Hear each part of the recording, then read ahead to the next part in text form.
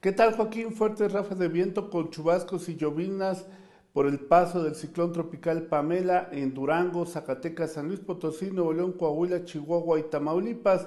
El ciclón Pamela seguirá cruzando Durango rápidamente hasta llegar a combinarse con los efectos del frente frío, ocasionando el desarrollo de un sistema de tormentas severas cuando cruce hacia Texas. Joaquín, muy buenas tardes.